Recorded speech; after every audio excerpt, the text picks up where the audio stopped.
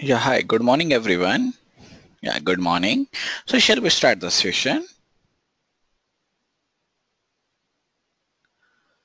Okay, so shall we begin the session?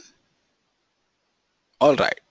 Today I'm going to start with a new module. That's why I'm asking, should I start or should I wait for others? Okay, wait for others.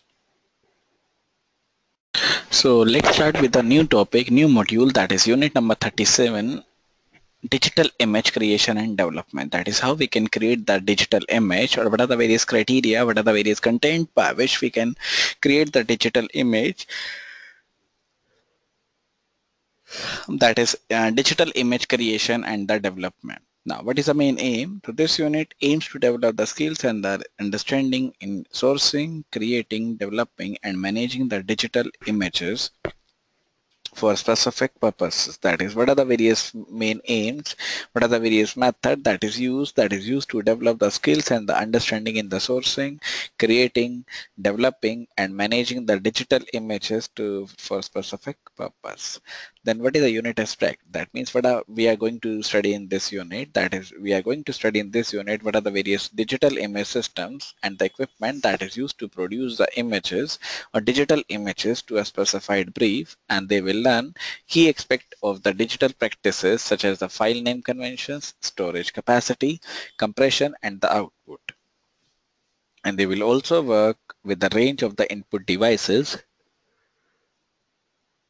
and the software tools. That is, what are the various input devices, what are the various software tool that is used in the software that is used in the software requirements. And the learners will be encouraged to explore approaches to develop or, or that is how to develop the digital imagery that, that converts or that incorporate the creativity and the sound technical skill. That means what are the various sound technical skill that is carried out within the digital image creations and the delivery will be main focus or main focus on the practical part with the provisions of the demonstrations what are the various demonstrations that is used?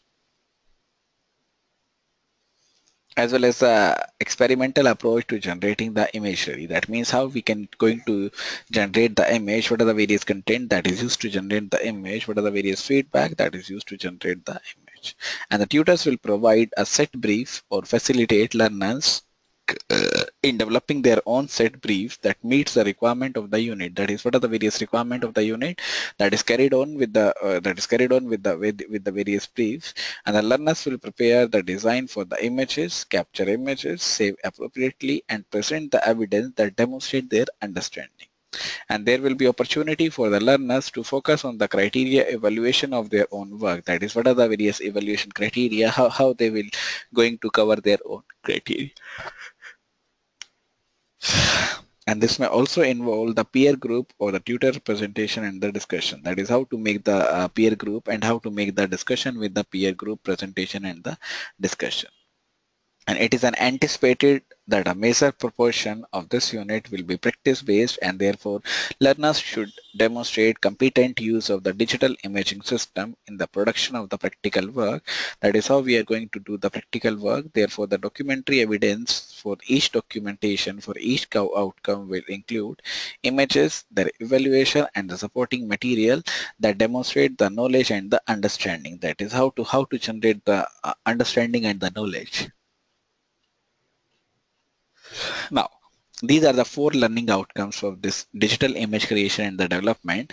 The first one is be able to create digital images for specific purposes. That means what are the various or be able means we are we are uh, efficiently used or we, we are efficiently be able to create the digital images for the specific purposes then be able to process the digital images so first one is how to or be able to create the digital image for a specific purpose then be able to process the digital images. So first one is creating the digital images. Second one is process the digital images then third one is be able to manipulate the digital images to meet the requirement that is how to how to manipulate the digital images what are the various content that is used for the digital images to meet the requirements then understand the use of the digital image. What is the main usage of the digital image? Why we are using the digital image? What is the main, uh, we can say the advantage or the drawback that is used for the digital image. So first one is be able to create the digital image, then be able to process the digital image, then be able to manipulate the digital image, then understand the uses of the digital images. Now, what are the various contents? So first one is be able to create the digital image for a specific purposes. That is how we are going to create the digital image for a specific purposes. That is, uh, be able to create the digital image for specific purpose. Then uh, in this, there are multiple sources for the digital image that includes a primary, that includes a secondary, that includes a recording, that includes a uh, sampling as well as uh, there are multiple input devices that is used for the digital image for a specific purpose. Now what are the various input devices like the cameras, scanners, external hard disk or hard drives, USB devices, mobile phones, video cams. These are the various input devices for the digital images as well as the acquisition. Acquisition includes uh, continuous tone, transparent opaque, monochrome, color line, half tone, digital images that includes the photographs, that includes the JPG, that includes the clip art, that includes the royalty, free stock photography, internet creative commons, mobile phones, and hand devices. And next one is the input fundamental. That is how we are providing the input fundamental. That includes the screen printout. That means the DPI, LPI, bits per pixel. That is a BPP. Then CMOS system. What are the various CMOS system? That is the that is used with a CMOS battery. Uh, then file size, file format, cross platform, example the PST, example the TIFF, example the JPG, example the GIF, and example the TI or uh, PDF. PDF now. Tell me, wow, great question. Now, tell me the full form of PDF, anyone? yeah, this is very silly question. Yes, portable document file. Now, now, tell me the full form of GIF. Very correct. Graphical interchange format. Then what is the full form JPG? Full form JPG. That is Joint Photographic Expert Group. All right. Then TIFF. T-I-F-F. Yeah, terrestrial information formation change. Then PST. Portable system development. Very good. Then second one is be able to process the digital images. How we can, how we are going to process the digital images. Uh, first one is creating the digital images. Next one is processing the digital images. That is how we are going to uh, create or how we are going to process the digital images. Creation is done. Next part is processing. First, yeah, first one is the devices. That means the portable, online, archive, screen, proofing, printing. That is the devices. Then file format. Mm, file format includes the file naming conventions. Uh, file naming convention. Now next is what are the various devices that is used? That example uh, that includes the portable online archives screen proofing and the printing. That is the devices that is used for the digital images then file formats, what are the various file format that include the file naming conventions, that includes the file management, applications, image size, compression that includes the lossless and the lossy compression, ISDN. Then uh, next one is a processing fundamentals. That is how we can going to process the fundamental how we are going to process the concepts. That is a processing fundamental that includes the file format backup import export uh, what are the various image size resolutions that is available with the resolution uh, part? Then uh, canvas size resolution and output image modes. Example includes the RGB CMYK indexed color. What are the various index color that is used? Then uh, grayscale and the duotone the next one is a transmission. What is the main transmission? That includes a downstream object or downstream stream. That includes the FTP file transfer protocol.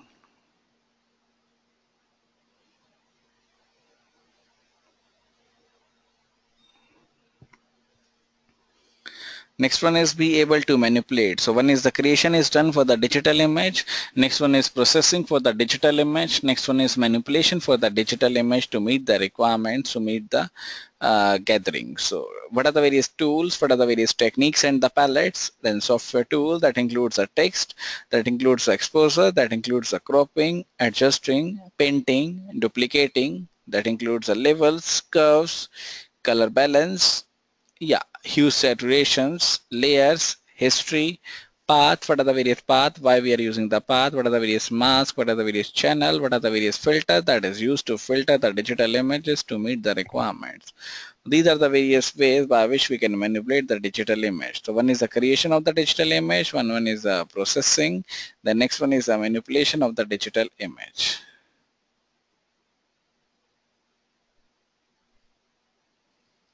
The next one is understand the use of the digital images. What are the various usage of the digital image? Then that one is a own work. That means uh, evaluate, constraint or brief, originality, aesthetics, context, meaning, emphasis. Then other works is also the commercial work that includes the design, sources, aesthetic, content, meaning, and so one. Now, these are the various uh, assessment criteria for the passing of the LA1, LA2, LA3, LA4. So first one is be able to create the digital images for the specific purposes. That is how we are going to create the digital images. So in this, the first one is identify the sources for the digital image. What are the various sources that is available for the digital image? That is the first part of the digital image. That is first part in creating the digital image. First one is uh, identify what are the various sources of digital image. Then uh, next one is creating the digital image from the sources for a specific purpose. That means what is the main specific purpose by which we can get the specific, uh, what are the various specific sources by which we can get the digital images. Then identify the file formats and the fundamentals required to process the image data. What are the various file formats? What are the various fundamental data that is required to process the file format or image data? Then uh, apply the digital data management techniques that is used to store the imagery. That means what are the various file management techniques, what are the various data management technique that is used to uh, store the imagery that applies the digital data manipulations. Then uh, in manipulation there are two terms, there are two tasks that is assigned. One is use the software tools to manipulate the images, then prepare the image files for output. That is what are the various image files that is available for the output.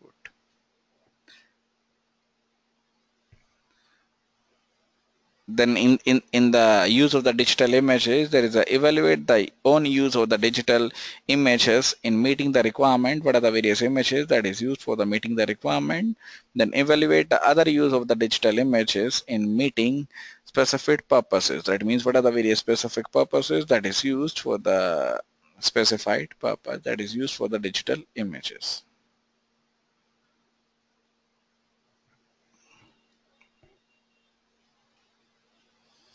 So let's start with this uh, new module. Let's start with the module of this one. Now this is the module, this is the book, ebook that is the digital image creation or processing. And this is written by the Rafael C. And uh, Richard E. Woods. This is the Pearson book. Now let's see what are the various content of this book.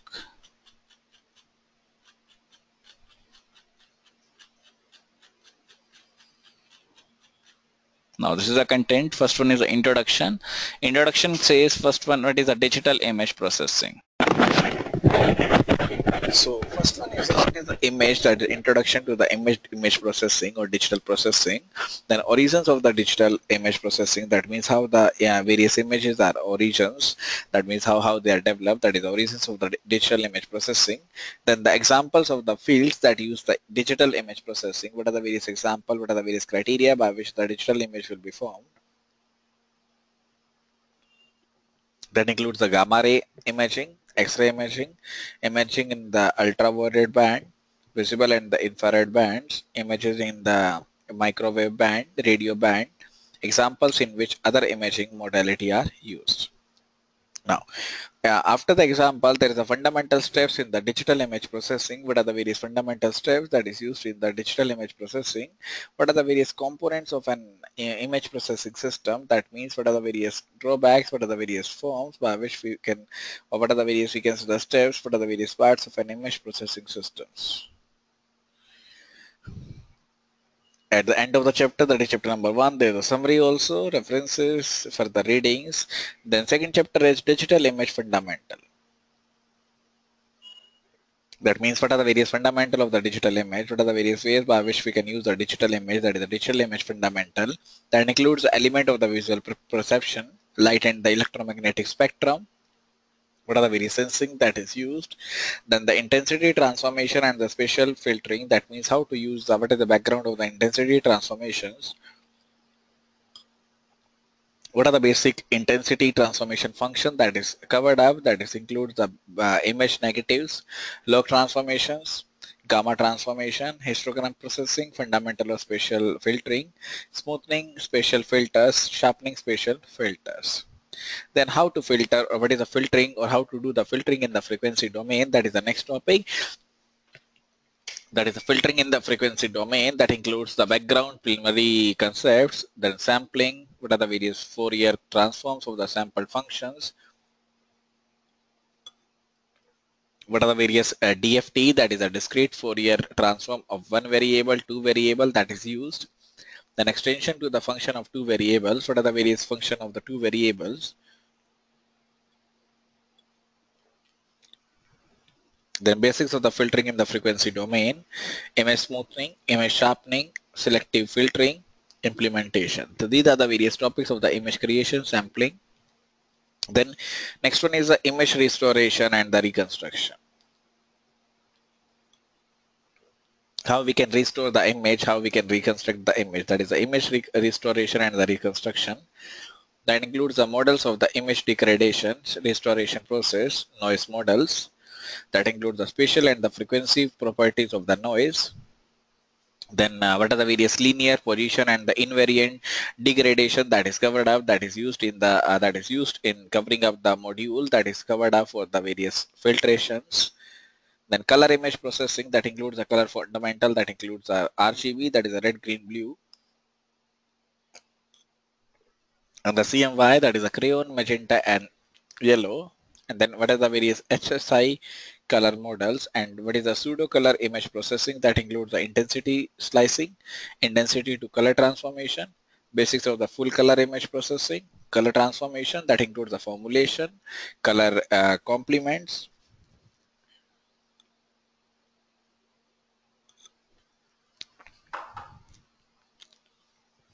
smoothing and the sharpening, image segmentation that is based on the color, then noise in the color imaging, then wavelets and the multi multi resolution processing, backgrounds, wavelet transformation, image compression that includes the fundamental of the image, that includes the coding redundancy, spatial and the temporal redundancy, irrelevant information, then some basic compression method. What are the various basic compression method? That includes the Huffman coding, that includes uh, the Golomb coding, arithmetic coding, L LZW coding. Then morphological image processing that includes the erosion and the dilations, opening and the closing of the transformation, some basic Morphy algorithms. Then image segmentation, what are the various image segmentation, representation and the description, uh, object recognition. Let's start with the first one that is an introduction that says one picture is worth more than the 10,000 word. That means one picture is more better than the or more say about than the 10,000 words. That means what is the preview of this one? So interest in the digital image processing method stems from two principal applications areas. That means improvement of the pictorial presentation for the human interpretation and the processing of the image data for the storage, transmission, representation, for autonomous machine perception. That means how to image the data, how to process the data for the storage, for the transmission and the representation for the autonomous machine perception. And this chapter has several objectives. What is the main objective? First one is to define the scope of the field that we call image processing. So what is the main scope of the field? Then to give a historical perspective of the origins of this field, to give an idea of the state of the art in, in the image processing by examining some of the principal approaches that is used in the digital image processing. Then to give an overview of the components contained in a typical general purpose image processing system that provides the direction to the books and other literature where the image processing work normally is reported. Now, first question is what is the digital image processing? How we can process or, uh, or what is the what is the meaning of digital image?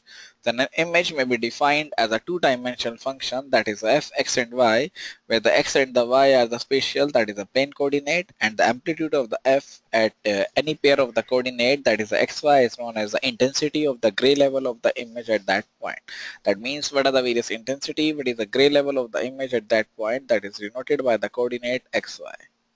And when the x and the y and the intensity value of the f are infinite or finite then the discrete quantities we call the image as a digital image.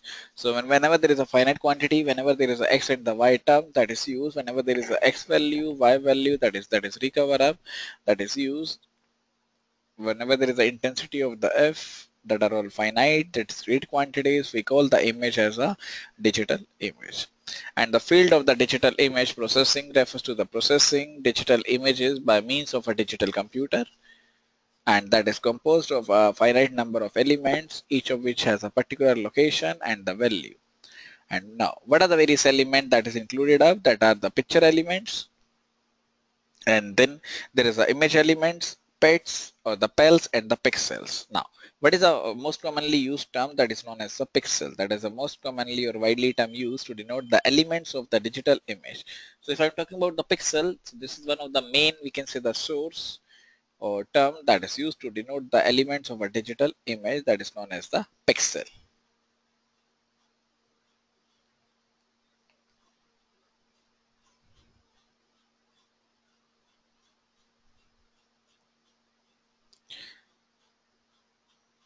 Now, next is the gamma ray imaging or what are the various ways by which we can, what are the various example by which we can use the digital image processing that is example that is used up or that is covered up for the fields that includes the digital image processing in the data that includes the visual x-ray and so on for the electromagnetic spectrum that is arranged according to the energy per spectrum.